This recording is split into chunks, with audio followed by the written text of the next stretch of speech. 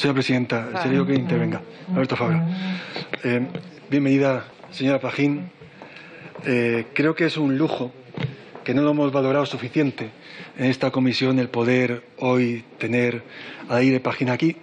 Y lo digo desde la diferencia ideológica, pero desde la sintonía y el compromiso común por los ODS. Usted está en una organización que yo intento también colaborar, eh, pero que es la que posiblemente más haya trabajado para el conocimiento de los ODS, la profundización y la extensión de los mismos en la sociedad. Por eso creo que, eh, en primer lugar, agradecerle de corazón el que esté aquí y que podamos aprender de lo que ustedes han estado trabajando durante todo este tiempo y que sirva para poder mejorar esa estrategia.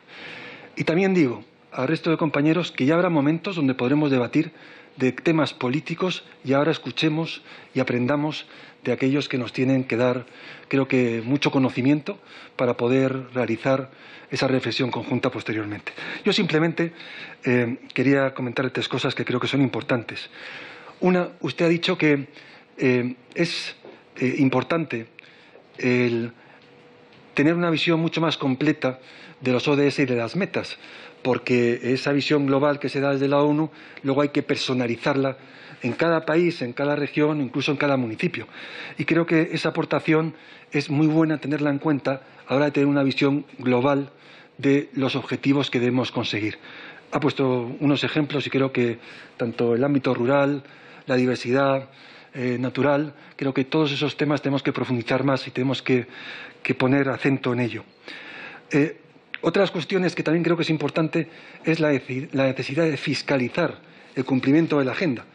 Y eso por parte del gobierno de turno o de la oposición de turno. Creo que hay que instrumentalizar elementos que posibiliten ese control por parte, ya no digo del Parlamento, sino de la propia sociedad, para poder eh, poner el énfasis en aquello que todavía queda por recorrer o de eh, darnos cuenta de que vamos consiguiendo cosas.